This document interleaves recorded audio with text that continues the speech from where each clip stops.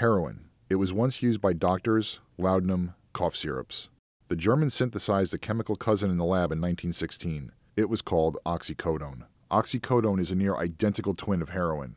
Chemists find a way to produce the poppy plant's pain relieving secrets in the lab. Just over 20 years later, in 1939, oxycodone is introduced in the United States. Oxycodone is eventually used in Percodan in the 1950s, Percocets in the 1970s, and Oxida in the new millennia. Pharmaceutical companies across the world produce drugs containing oxycodone.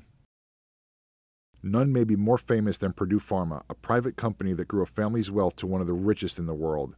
A company that would be fined hundreds of millions for misrepresenting OxyContin, a company whose blockbuster drug would become part of nearly every conversation of the U.S.'s opioid epidemic. These are the Sackler brothers, Mortimer, Arthur, and Raymond. In 1952, Mortimer and Raymond founded Purdue from the ruins of a struggling company.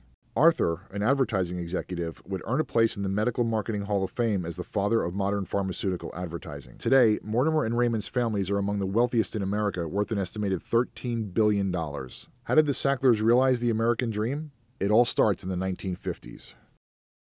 Back then, drug company Hoffmann La Roche began making Valium. Purdue didn't make Valium, but Arthur penned the playbook that turned Hoffmann La Roche's Valium into a $100 million drug using clever marketing and advertising. Purdue Pharma wanted its own moneymaker, and the opportunity came over 40 years later as concern grew in the 80s and 90s that pain was being undertreated. In 1995, Purdue went back to Arthur's playbook and seized an opportunity in the pain treatment market. It took an old drug, oxycodone, repackaged it with new marketing, and pressed it into a pill. Purdue added a time release agent and branded it Oxycontin. In 1995, OxyContin was approved by the FDA. It was the most powerful oxycodone pill ever approved. For people susceptible to addiction, what the FDA approved was the equivalent of bottled synthetic heroin. Even the label was a roadmap for getting high. This is what it said OxyContin tablets are to be swallowed whole and are not to be broken, chewed, or crushed. Swallowing broken, chewed, or crushed OxyContin tablets could lead to the rapid release and absorption of a potentially toxic dose of oxycodone. Purdue Pharma took OxyContin to market as the new 12 hour pain relief. It was the time release formula that would help chronic pain sufferers get back to their lives. Purdue touted low rates of addiction and abuse.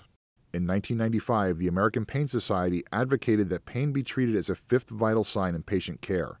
Pain was deemed as important as breathing, pulse, blood pressure, and temperature. Purdue would provide substantial funding for the American Pain Society.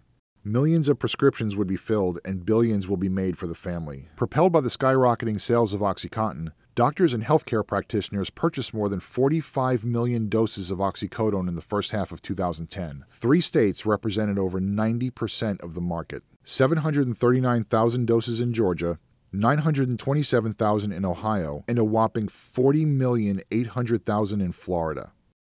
Purdue salespeople fanned out to doctors' offices and communities in the northeastern U.S. and across Appalachia. The loggers and miners in these parts of the country had legitimate pain from their dangerous and often grueling jobs. As OxyContin began to flow to the pain sufferers, the cash flowed back to Purdue. OxyContin had been on the market for only months when the American Pain Society teamed up with the American Academy of Pain Medicine. They wrote that doctors should aggressively treat pain and not be afraid to use opioids.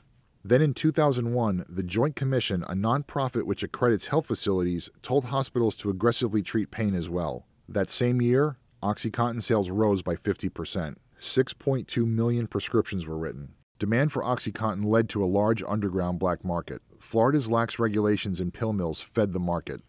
By 2005, OxyContin was second only to cigarettes in reported first time drug use. More people tried OxyContin than marijuana for the first time a pill prescribed by doctors was more popular than a joint in the United States. Law enforcement began to take notice. The attorney for the Western District of Virginia began investigating OxyContin and Purdue Pharma. In 2007, Purdue Pharma and three executives pled guilty to illegally misbranding OxyContin.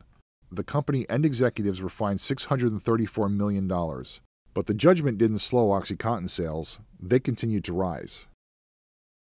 By 2010, 34 states were keeping records on prescriptions, including OxyContin. Florida wasn't one of those states. In 2010, millions of pills were sold by Palm Beach and Broward County pill mills. Florida passed a prescription monitoring law in 2009, seven years after it was first introduced. But the legislature didn't provide any money for it in 2009, so it had no effect. Then in 2011, one of Governor Rick Scott's first actions was to try and kill off the database law. Other states in Washington were outraged. He changed his mind, and so in October 2011, the database was finally collecting prescription information and making it available to law enforcement to stop doctor shopping.